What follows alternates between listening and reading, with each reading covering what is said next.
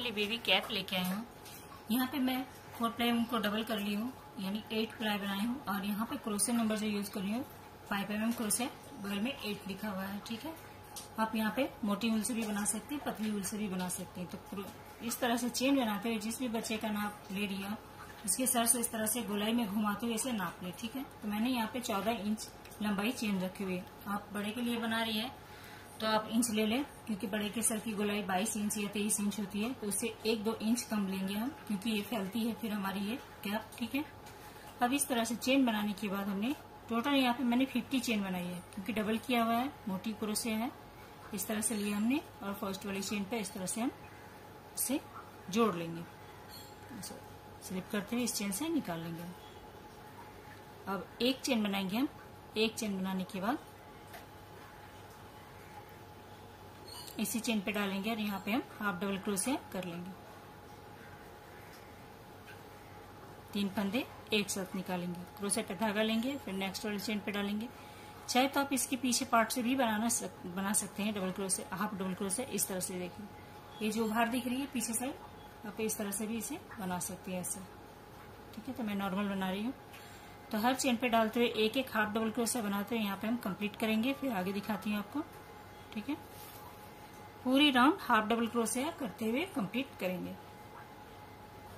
अब पूरी राउंड हमने इसे बना ली है। फ़र्स्ट वाली जो हमने चेन बनाई थी, यहाँ पे इसे इस तरह से। फ़र्स्ट डबल क्रोशिया जो हाफ़ डबल क्रोशिया इसमें हम इस तरह से स्लिप करते हुए इसे ज्वाइंट कर लेंगे, ठीक है? इस तरह से लिए, उसे ज्वाइंट कर लेंगे अब एक चेन लेंगे हम यहाँ पे। अब देखिए, एक चेन लेने के बाद हम क्या करेंगे? क्रोशिया पे धागा लेंगे। अब जो चेन दिख रही है चेन भी हमें नहीं बनाना है। चेन के पीछे जो भाग दिख रही है, देखिए, ये वाली नीचे। कैमल स्टीच जिसे कहते हैं, एक बार मैंने और भी आपको इस वीडियो में बताया किसी वीडियो में तो इस वाले स्टीच पे आपको बनाना है, ठीक है? तो सबसे पहले हम यहाँ से स्टार्ट करेंगे, ये वाली जो नीचे है। इस वाले नीचे से ही हम यहाँ पे लेंगे इस जगह पे, और यहाँ पे बनाएँगे हम, ठीक है? यहाँ पे लिए हमने इसे उठाया, और हाफ़ डबल क्रोसे करते हुए इसे बुन लिया। फिर से लेंगे क्रोसे पे धागा। इस वाले धागे को यहाँ पे उठाएँगे हम। ऐसे, दो धागे उठाने आपको। ऐसे उठाया हमने। ऐसे लिया और हाफ़ डबल क्रोसे कर लिया। ये राउंड भी हम इसी तरह से करेंगे। इसके नेक्स्ट राउंड भी हम सेम इसी तरह से करेंगे, ठीक है? ये हाफ़ डबल क्रोसे ही चलेगी, लेकिन इसी तरह से बनाना है डबल ये जो चेन की पीछे वाली लाइन है, इसे उठाते हुए, ठीक है? तो कंप्लीट कर लेती हूँ। सेकेंड और थर्ड लाइन सेम बनाऊँगी मैं। यहाँ पे देखिए, हमारी तीन लाइन कंप्लीट हो गई। सबसे पहले हमने हाफ़ डबल क्रोशिया की। उसके बाद हमने पीछे साइड से यहाँ पे कैमल डिज़ाइन बनाया, एक और ये दो। टोटल हमारे यहाँ पे एक, दो, तीन लाइन हो गई, ठीक है? अब चौथी line one two three round complete fourth round में देखिए क्या करेंगे हम। क्रोशिया पे धागा लेंगे, ठीक है? अब यहाँ से हम फ्रंट पोस्ट और बैक पोस्ट डबल क्रोशिया बनाएँगे। यानी आगे की साइड से पीछे की साइड से डालते हैं यहाँ पे हम डबल क्रोशिया बनाएँगे, ठीक है? अब देखिए, ये जो दो धागे एक साथ दिख रही है, यहाँ हमें ही बार बनाना है, क्योंकि ठीक है, इस तरह से ठीक है क्रोशे पे धागा लिया, अब इन दो को इस तरह से ले लेंगे। ये दो नहीं है, क्योंकि हम यहीं पे ज्वाइंट करते हैं तो ये हमारे चेन जैसा जो दिख रहा है, इसे भी हम साथ में ले लेंगे, इस तरह से। इसे बनाएँगे हम फ्रंट पोस्ट डबल क्रोशिया पहले दो फंदे निकालेंगे इस तरह से और फिर से दो फंदा। ठीक है? अब बनाएँगे back post double crochet crochet पे धागा लेंगे, अब इसे इस तरह से पीछे साइड से डालेंगे और हम यहाँ पे डबल क्रोशिया बना लेंगे। ये हमारी फोर्थ राउंड चल रही है। ऐसे, ठीक है? फिर क्रोशिया पे धागा लेंगे, फिर से फ्रंट पोस्ट डबल क्रोशिया बनाएँगे इस तरह से।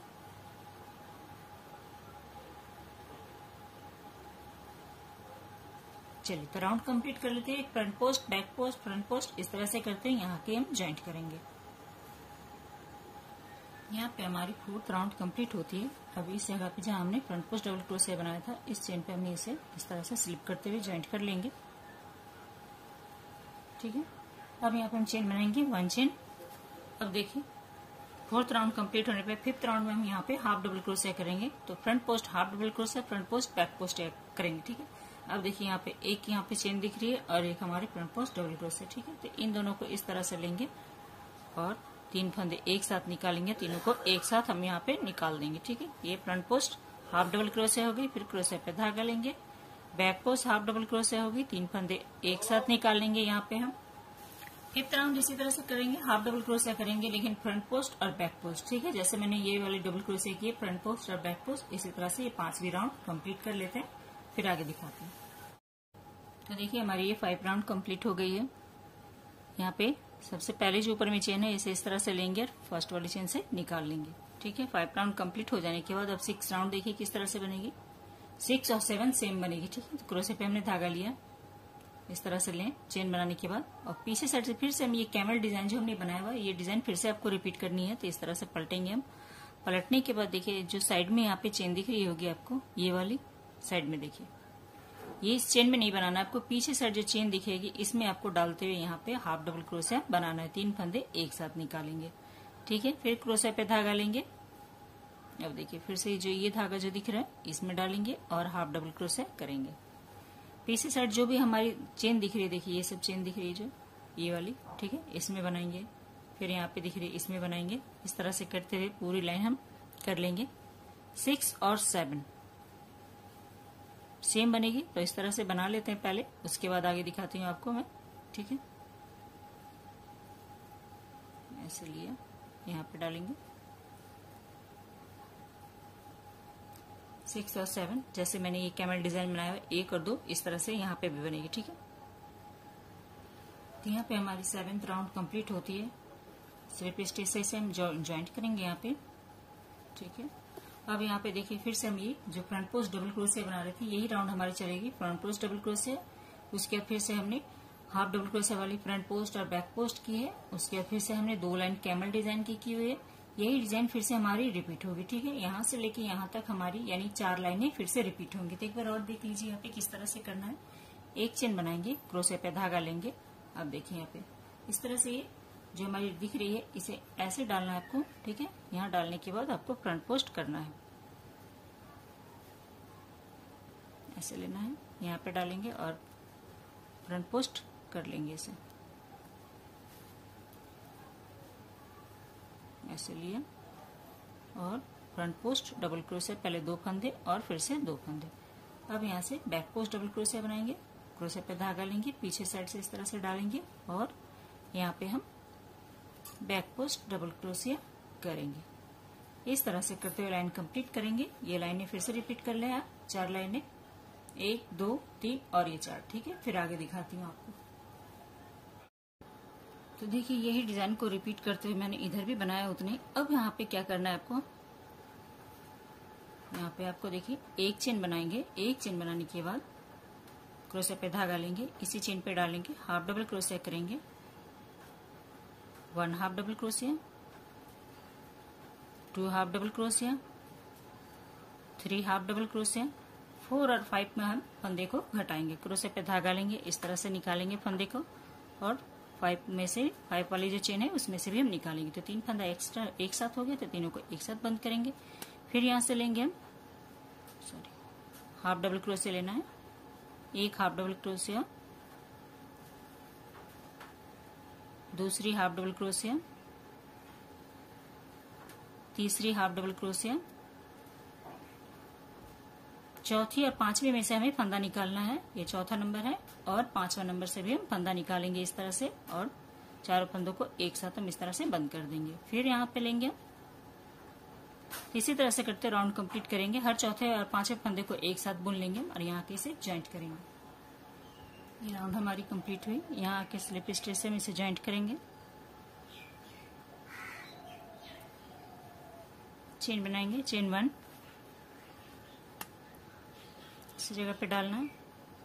एक डबल क्रोसिया दूसरे डबल क्रोसिया अब यहाँ पे तीन और चार एक साथ बुनेंगे हम। क्रोसिया पे धागा लेंगे। तीसरे नंबर की चेन और चौथी नंबर की चेन में एक ही साथ हम इस तरह से बुनेंगे। और फंदे को घटाएँगे। ठीक है, फिर से देखिए। फिर दो डबल क्रोसिया करेंगे, एक double crochet sorry half double crochet फिर उसके नेक्स्ट वाली चेन पे भी हाफ़ डबल क्रोसिया अब उसके थ्री और फोर एक साथ हम इस तरह से लेंगे, फंदे निकालेंगे, बंद करेंगे। इसी तरह से करते हुए इस राउंड को भी हम कंप्लीट करेंगे। दूसरी राउंड भी हमने यहाँ पे कंप्लीट कर ली, फंदे को घटाते हुए यहाँ के स्लिप स्टेज से इसे ज्वाइंट करेंगे। चेन बनाएँगे वन चेन फिर से हम यहाँ पे हाफ़ डबल क्रोसिया करेंगे।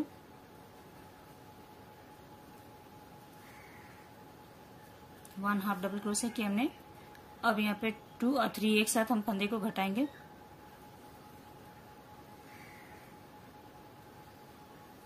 फिर से लेंगे हम। वन हाफ़ डबल क्रोशिया फिर सेकंड और थर्ड को एक साथ बंद करेंगे। यानी एक हाफ़ डबल क्रोशिया करना है आपको, दूसरे, तीसरे को फिर से एक साथ हमें बंद करना ठीक है? एक हाफ़ डबल क्रोशिया यहाँ पे बनाया हमने। अब यहाँ पे उसके दूसरे नंबर और तीसरे नंबर चेन पे डालेंगे। एक साथ फंदे निकालते हुए चार फंदे एक साथ होंगे, इस तरह से बंद कर देना हमें। फिर हम यहाँ पे एक हाफ़ डबल क्रोशिया बनाएँगे, ठीक है? फिर यहाँ पे उसकी अगली वाली यानी दूसरा और तीसरे नंबर चेन पे फंदा इस तरह से निकालते हुए चार फंदे हो जाएँगे, सभी को एक साथ बंद करना इस तरह से। राउंड कंप्लीट करती हूँ। ये तीसरी बार फंदे को हमने, घटाते हुए बुना। अब यहाँ पे फिर से हम स्लिप स्टिच कर लेंगे सॉरी स्लिप स्टिच करते हुए इसे हम ज्वाइंट कर लेंगे। अब यहाँ पे देखिए, एक चेन बनाएँगे, क्रोसे पे धागा लेंगे। अब यहाँ पे एक एक करके सारे फंदे हम यहाँ पे घटाते जाएँगे। एक हमने लिया और यहाँ पे दूसरे में से, ठीक है? फ़र्स्ट या सेकंड में से फंदा निकालेंगे, चार फंदे हो जाएँगे। एक, दो, तीन, चार, सभी को एक साथ बंद करना है। अब यहाँ पे कोई भी सिंगल हाफ़ डबल क्रोसा नहीं बुनना है। सिर्फ़ आपको इस तरह से करते हुए जाना है और इसे बंद करते हुए जाना है, ठीक है? फिर से लेंगे उसके अगली चेन पे, इस तरह से, फिर उसकी अगली वाली चेन पे। चार फंदे जाएँगे, चारों फंदों को एक साथ इस तरह से बंद करना है हाफ़ डबल क्रोसे करते हुए फिर से लेंगे। यहाँ पे डालना है आपको, फिर उसकी अगली वाली चेन पे, इस तरह से लिया।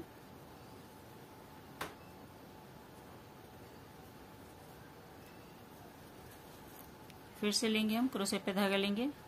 यहाँ पर डालेंगे, फिर उसके अगली वाली चेन पे डालेंगे। सारे फंदे एक साथ बंद करेंगे।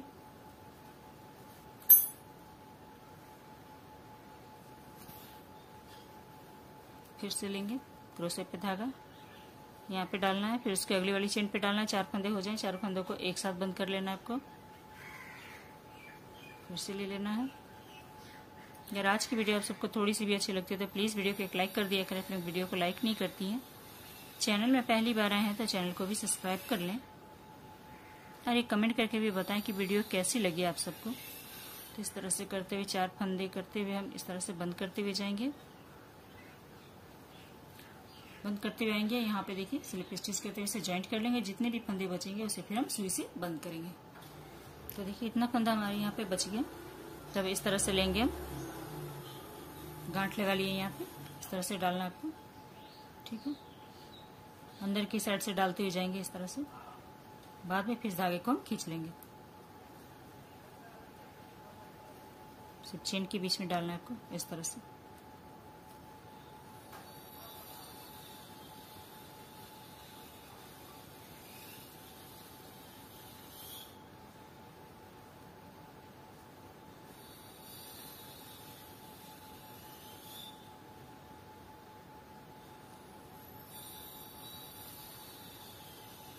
अब इस धागे को हम इस तरह से खींच लेंगे।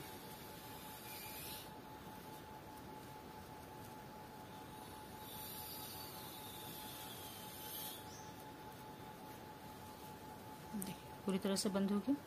चाहे तो हल्का सा लूज रख सकते हैं। यहाँ पे आप पॉम पम बनाने के लिए यहाँ पे थोड़ा सा गैप छोड़ सकती हैं, ताकि धागा अंदर ले जा सके, या फिर टाइट करके पूरी तरह से बंद कर लें आप इसे। ऐसे लिया हमने। अब इस धागे को अंदर लेके चले जाएँगे।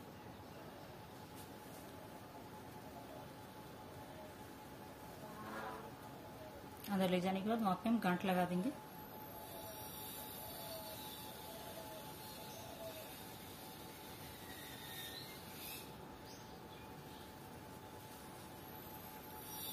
टाइट कर ले मजबूती से। अब यहाँ पे हम इस तरह से गांठ लगा देंगे।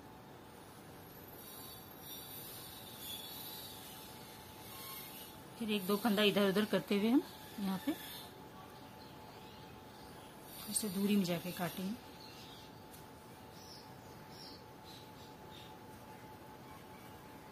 अब यहाँ पे फंदे को काट लेंगे। तो धागा और यहाँ पे देखिए आपकी खूबसूरत सी, प्यारी सी कैप बनके रेडी हो गई है।